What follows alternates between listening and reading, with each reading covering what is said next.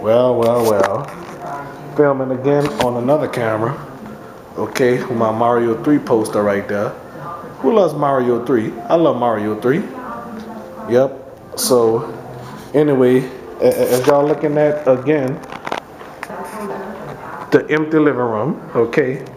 The last time I had an empty living room, this post, this blue welcome to uh, uh, next level poster was wasn't here. This poster wasn't here. This poster wasn't here.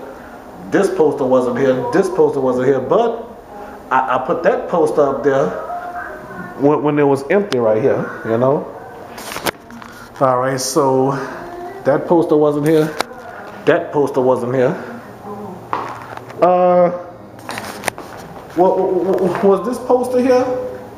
Probably not. But everybody know this poster was here. But our review, but that that poster wasn't here, that Mario 3 poster. But let's do another view.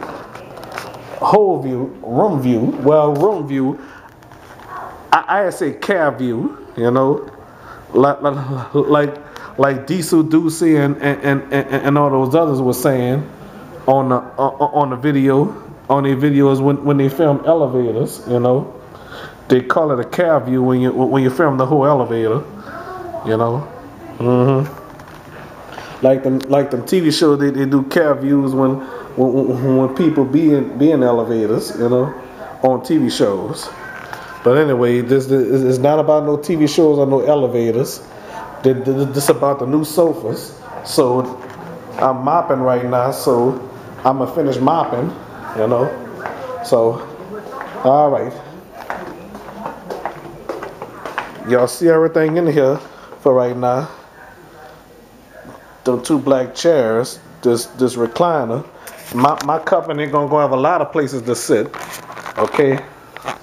And, and, and this table right here, Shamika threw it out, so so that's my table now. Okay. Eastland and Eastland and in Brooklyn, you, you used to eat on that. Mm-hmm. So some of you, some of you seen Eastland and Brooklyn on my show, I think. Yeah, I, I think y'all did. Well, y- y'all seen Brooklyn. Y'all, y- y'all don't know which which one Brooklyn is. Y'all don't know which one is Eastland. I don't know why the hell I show myself, but oh well, the hell with it. All right, y'all gonna see a new furnished living room very soon.